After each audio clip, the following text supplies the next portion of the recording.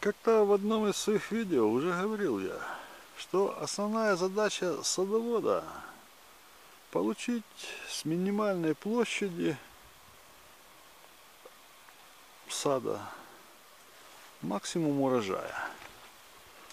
И предлагал, в частности для фундука, фундукового сада, уплотненную посадку.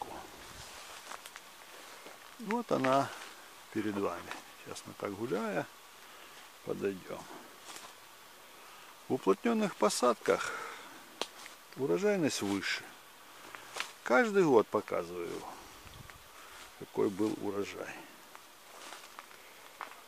Наблюдая жизнь деревьев и кустарников в лесу, заметил, что даже относительно светлолюбивые породы, такие как яблоня и груша, для них частичное и даже полное затемнение для груши не вредны. Было видео. Не влияет эта затененность на урожаи.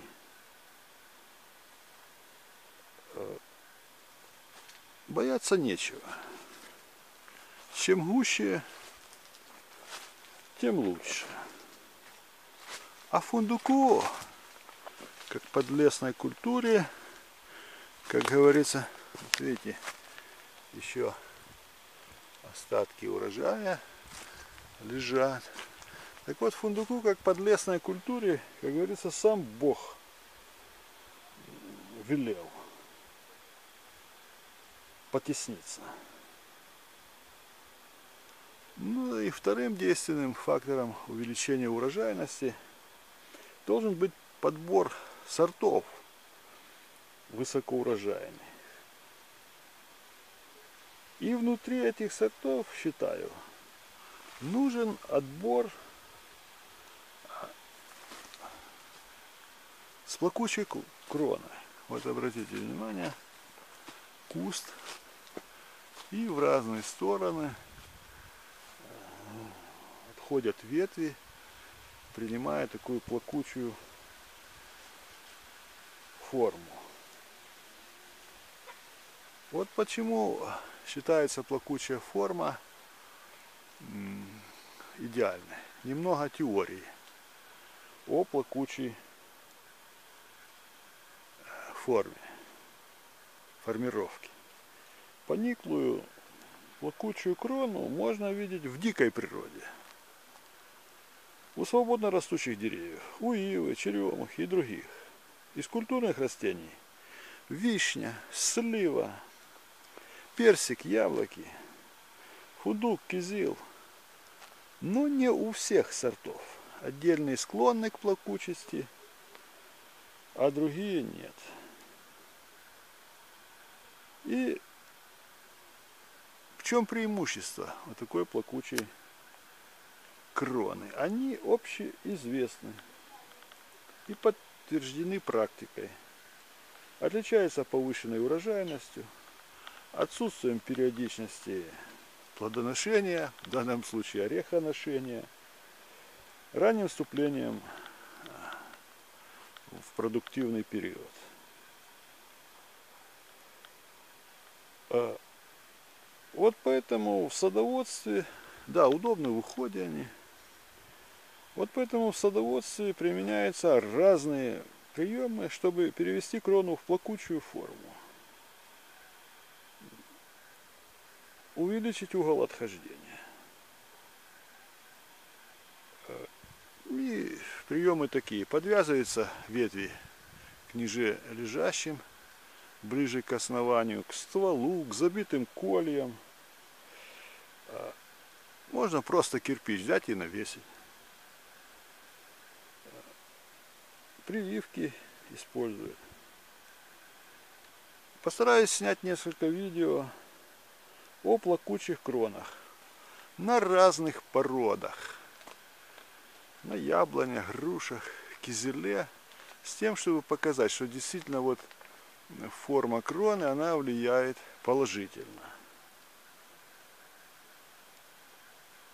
Вот фундуку, трапезунду такие сложности, как там пригибание, прибивание, навязывание грузов не нужны. Гены плакучести присутствуют. И вот я считаю, что своими высокими урожаями трапезунт он обязан именно э, плакучести. Вот это его, будем говорить, природное состояние. Куст плакучей формы. Вот смотрим, вот слева у нас юг, солнце светит, наклонен он туда. А на север еще больше, по-моему, наклонен. В общем, не к свету он клонится, а в силу своей, своего такого свойства. Вот сосед посадил орешек трапезунда. И вот смотрите, какой, какой ствол вырос у этого куста.